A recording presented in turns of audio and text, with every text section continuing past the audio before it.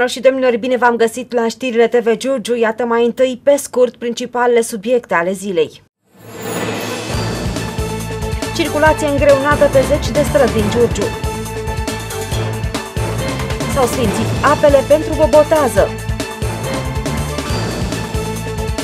Detoxifierea de după sărbători. Fără datorii la început de an. Fotbalul județean revine din martie. Traficul din municipiul Giurgiu nu a fost prea afectat de prima zi de zăpadă din această iarnă, dar asta doar pe cele câteva străzi principale. Pe zeci de alte străzi, mai ales în cartierele de case, se circulă destul de greu, pentru că nici până astăzi utilajele de dezăpezire nu au ajuns în aceste zone. Doar faptul că stratul de zăpadă nu a fost mare a făcut ca și în astfel de cartiere să se poată circula. În multe dintre cartierele de case, circulația mașinilor a fost posibilă pentru că stratul de zăpadă nu a atins un nivel considerabil, dar pe străzile din astfel de zone se circulă destul de greu. Aceasta pentru că de două zile pe aici nu a ajuns nici măcar o dată un utilaj de dezăpezire. Asta chiar în condițiile în care cartierele despre care vorbim sunt locuite de foarte mulți giurgiuveni, numai că aceștia nu s-au bucurat de atenția municipalității. Deși suntem la doi pași de strada principală a orașului, respectiv șoseaua București, în această zonă, cartierul Mereni, nu s-a acționat deloc pentru dezăpezire. Pe aici, după cum se poate vedea, nu a intrat niciun utilaj și faptul că se poate încă circula cu mașinile a fost pentru că zăpada căzută nu s-a depus prea mult, nu este foarte mare. Este vorba despre un cartier în care locuiesc foarte mulți jurjuveni și, așa cum spuneam, este un cartier central. De ce nu s-a intrat aici cu utilaje, încă nu se poate ști. Probabil că au fost preocupate doar pe cele două-trei străzi principale pe unde s-a acționat în această perioadă. Cartierul Meren nu este singurul aflat în această situație. La fel se petrec lucrurile și în capătul opus al orașului, aproape de șoseaua Sloboziei și de bulevardul Ice Brătianu. Și nu este vorba de ulițe înguste pe care nu se poate intra cu utilaje, ci de străzi destul de largi și multe la număr. Acea situație și pe străzile adiacente bulevardului IC Brătianu, străzi la fel de circulate ca și cele din cartierul Mereni și străzi pe care locuiesc la fel foarte mulți giurgiuveni. Nici aici nu s-a intrat pentru dezăpezire cu utilajele și, cum spuneam și ceva mai devreme, numai faptul că zăpada nu este foarte mare a permis ca oamenii de aici să poată intra și să circule cu mașinile. După cum arată prognoza pentru noaptea ce urmează, lucrurile s-ar putea înrăutăți. Și nu pentru că va mai ninge, ci pentru că sunt așteptate ploi care vor duce la polei și la înghețarea zăpezii care nu a fost degajată. Bisericile din Giurgiu s-au pregătit azi intens pentru bobotează. Au avut loc slujbe speciale pentru sfințirea apei și s-au îmbuteliat sticle cu acheazmă pentru credincioși. În acest an, la Catedrala Episcopală au fost pregătite 11 butoaie cu apă și s-au îmbuteliat în sticle mii de litri de apă sfântă. Boboteaza bate la ușă, așa că în bisericile din Giurgiu a fost forfotă mare pentru pregătirea ceremonialului religios din ziua de 6 decembrie. Ca în fiecare an, cel mai mare număr de credincioși se va înregistra la Catedrala Episcopală a Dormirea Maicii Domnului, unde în ajunul bobotezei preoții alături de credincioși au oficiat slujba specială de sfințire a apei. Glasul Domnului peste ape venit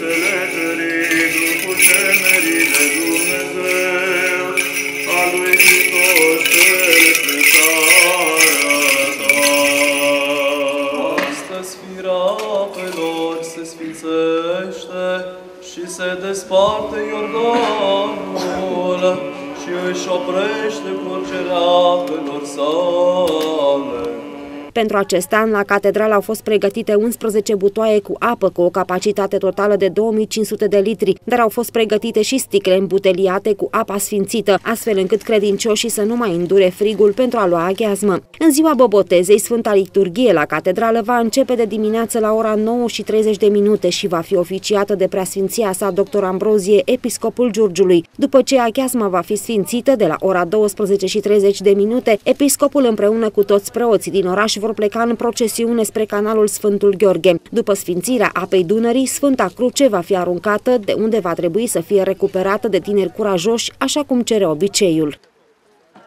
Mesele îmbelșugate ne-au bucurat pe toți de sărbători, însă ne-au încărcat organismul cu toxine și grăsimi. Acestea încetinesc metabolismul, contribuind totodată la acumularea de kilograme în plus. De aceea este indicată o cură de detoxifiere pentru a reveni la bunele obiceiuri de dinaintea zilelor de răsfăț.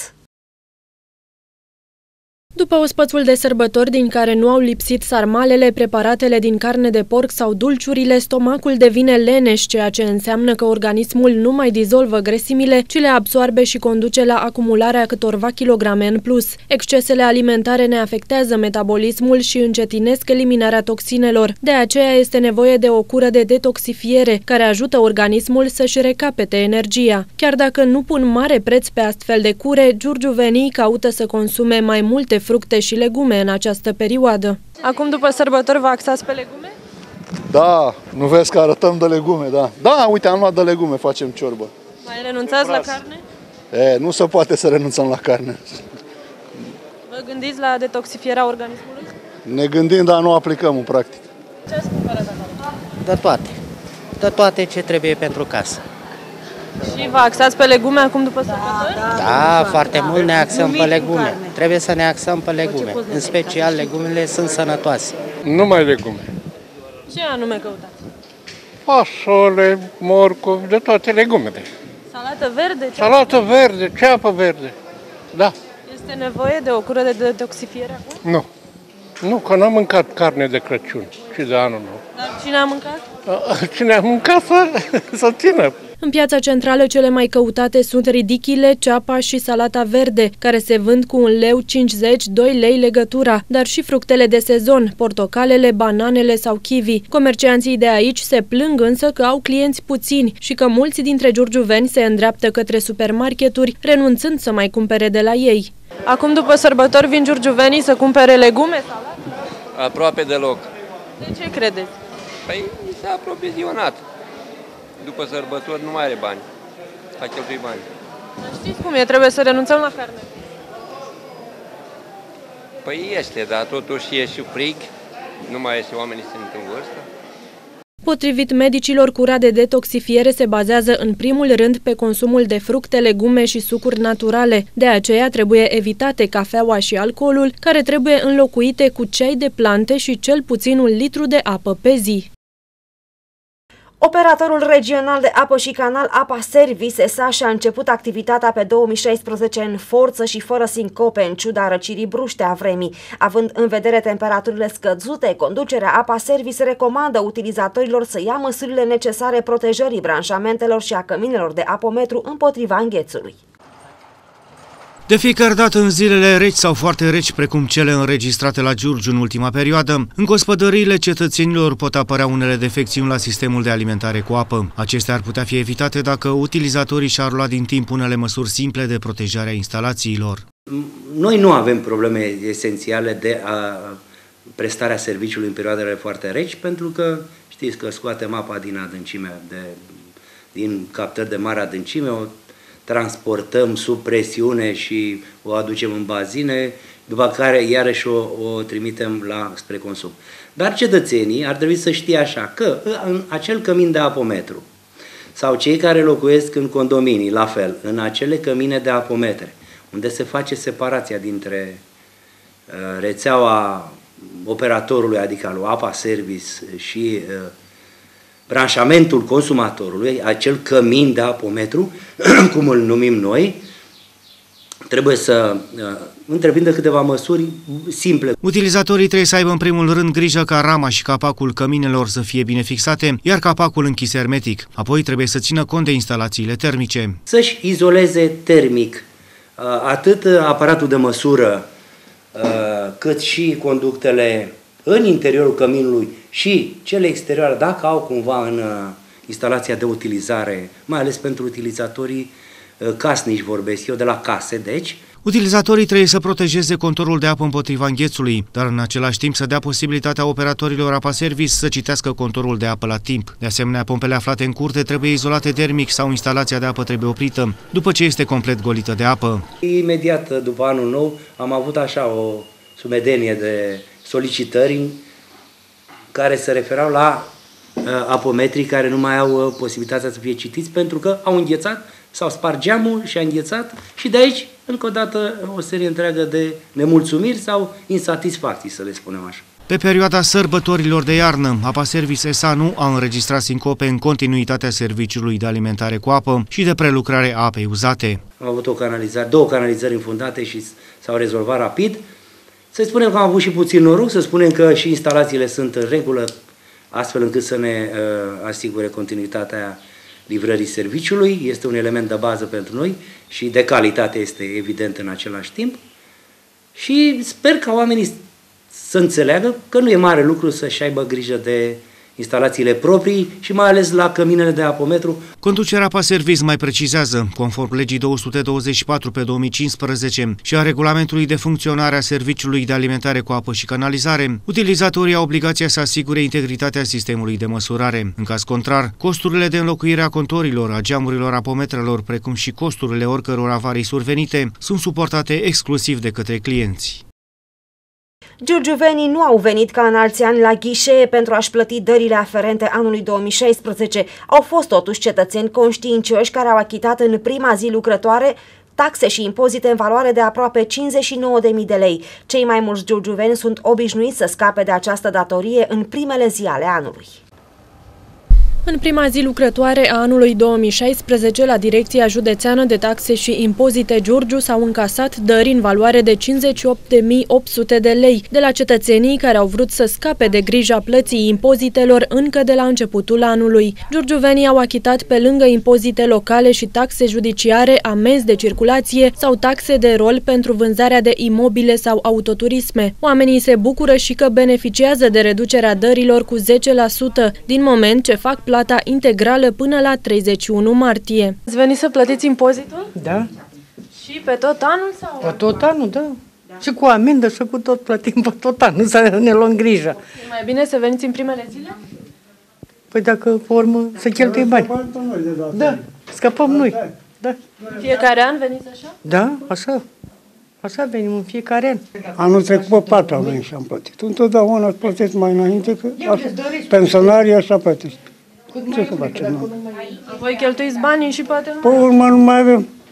Asta este. Știți și de bonificația pe care o primiți?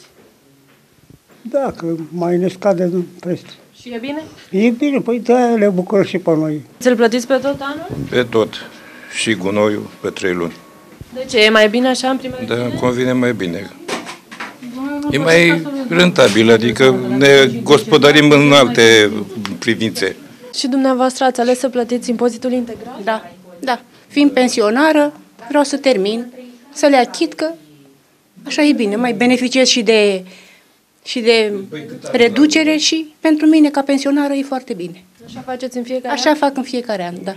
Nivelul impozitelor și taxelor locale rămâne neschimbat și în anul 2016, fiind al treilea an consecutiv când obligațiile fiscale locale rămân neschimbate. A suferit însă modificări impozitul pentru clădirile nerezidențiale ale persoanelor fizice și juridice. Acest impozit a crescut de 6 ori de la 0,2% la 1,3%, în condițiile în care codul fiscal prevede o limită maximă de 1,5% a acestui impozit. Pentru că și în România se modifică pe indicatorul de bord numărul real de kilometri parcurși cu un autovehicul, cei care vor mai recurge la astfel de practici vor fi pasibili de pușcărie. Un proiect de lege își propune să trimită la răcoare pe cei care schimbă kilometrajul unei mașini rulate și pe cei care falsifică documente pentru mașinile utilizate, uzate sau care se vor a fi vândute la mâna a doua, schimbarea kilometrajului va fi interzisă dacă un actual proiect de lege va deveni reglementare legală pusă în practică. Mai mult, actualul proiect își propune să trimită la închisoare pe cei care vor modifica kilometrajul real al mașinii sau care îi falsifică documentele, în special pentru a vinde mai ușor mașina. Pe lângă studiul atent al actelor de proveniență a mașinii, un alt lucru pe care suntem tentați al face atunci când ne dorim o mașină la mâna a doua este acela de a verifica numărul de kilometri parcurși. Apariția unei legi privitoare la uh, obligativitatea de a nu da kilometrajul înapoi de către vânzător este benefică deci pentru cei care își doresc mașini la mâna a doua. Închisoarea pentru falsificatori nu rezolvă însă o problemă. Cum pot eventualii clienți să afle informații certe despre kilometrajul real al unei mașini? Reprezentanții constructorilor ar putea însă accesa bazele de date internaționale ale dealerilor auto și astfel să se verifice istoricul mașinii. În multe țări ale lumii, falsificarea bordului unei mașini este considerată infracțiune și se pedepsește cu închisoare. Foarte mulți giurgiuveni s-au adresat televiziunii noastre în speranța că vor afla ceva despre ajutoarele alimentare de la Uniunea Europeană pe care le primesc în fiecare an. Oficial, nici noi nu am aflat nimic, așa că am apelat la surse care, din păcate, nu ne-au oferit vești prea bune.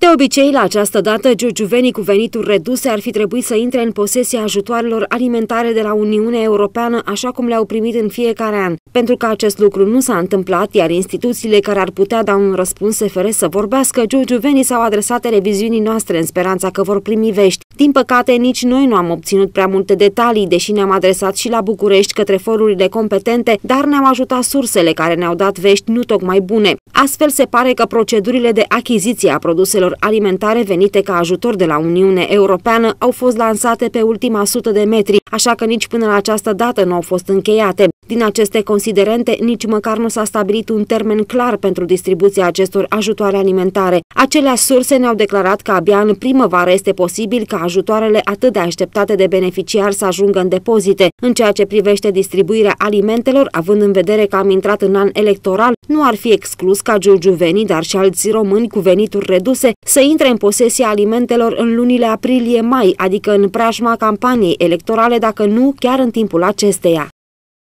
Diane Keaton, astăzi actriță, regizor și producător, și-a început cariera pe scenă, însă ca actriță de film a fost cunoscută după rolul jucat în producția anului 1972 Nașul.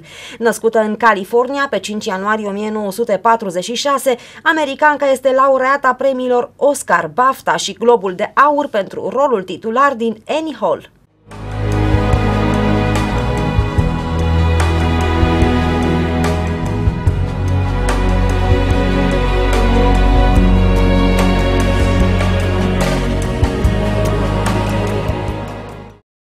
Diane Keaton este americanca născută la Los Angeles, California, pe 5 ianuarie 1946, iar ca actriță și-a început cariera în teatru. Debutul pe marele ecran și l-a făcut în 1970, dar primul său rol major a fost Kay Adams Corleone în Nașul, producția anului 1972. Cu Love and Dead, Play It Again, Sam sau Sleeper, actrița se îmbogățește filmografia, însă pentru rolul titular din pelicula Annie Hall, în regia lui Woody Allen, Keaton este laureată în 1978 cu Oscar, BAFTA și Globul de Aur. The winner is Diane Keaton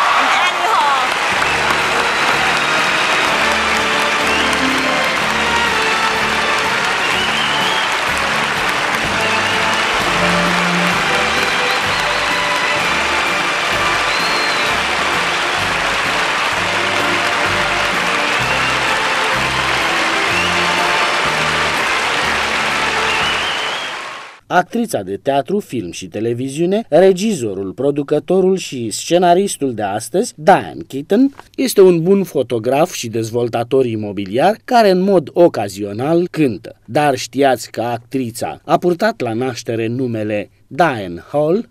Am I blue?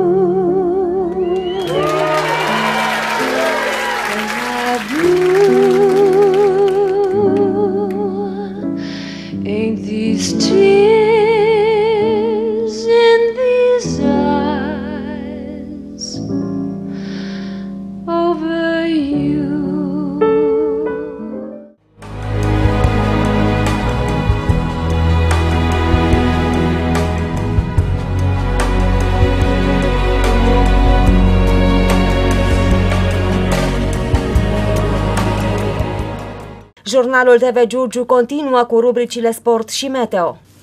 Nu ratați în această seară emisiunile Punctul pe ei și între da și nu. Sunt Nicoleta Pană, vă mulțumesc pentru că ne urmăriți toate cele bune.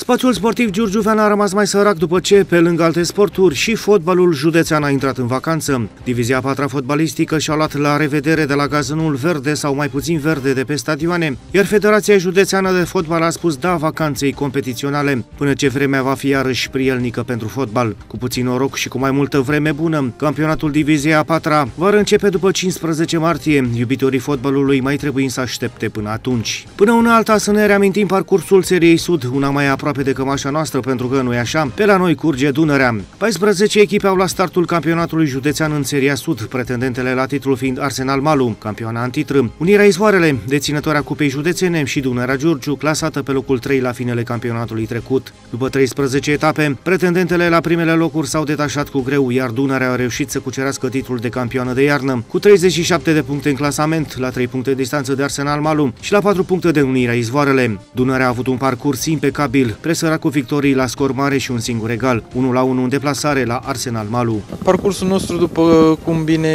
știe toată lumea, a fost unul, zic eu, în acest an de excepție, ținând cont că în cele 13 etape disputate avem un rezultat de egalitate și 12 victorii, un gol averaj destul de, de bun.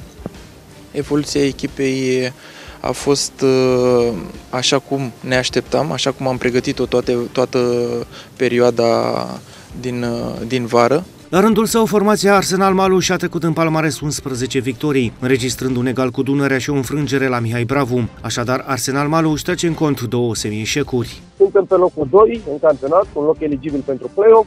Uh, am trecut în uh, semifinalele Cupei României, deci să zicem că a fost un an bun, nu foarte bun, pentru că au existat și sincope, egalul de acasă cu Dunărea Giurgiu și înfrângerea de la Mihai Bravu. În rest, uh, numai victorii pe linie, deci nu putem să, nu putem să spunem că a fost un an uh, rău. Prima parte a campionatului a adus și scoruri pentru golaveraj, printre care se detașează aceste Arsenal Malu, Progresul Valea Dragului 18 la 1, CSM Dunărea Sespicul Izvorul 11 la 1, Asevoința Slobozia, CSM Dunărea Giurgiu 0 la 13, CSM Dunărea Argeșul Hotarele 11 la 0, CS Unirea Izvoarele, Asevoința Slobozia 10 la 0, ACS Arsenal Malu, ASE Real Vărăș 15 la 1 și CS Unirea Izvoarele, ASE Viitorul Vedea 12 la 0. 0. Dar până una alta pauză în divizia 4 fotbalistică, unde campionatul județean se va relua, cum spuneam, după 15 martie. Dar până atunci, spre începutul lunii, Dunărea are preconizate 70 zile de pregătire centralizată în cantonament, asta dacă sponsorii echipei sunt dispuși să dea o mână de ajutor.